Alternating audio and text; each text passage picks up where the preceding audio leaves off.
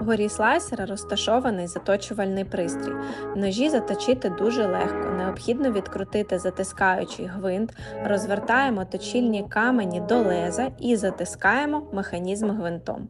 Натискаючи кнопку, ми підводимо камінь до леза. Для гарного заточування необхідно, щоб лезо оберталось одну хвилину.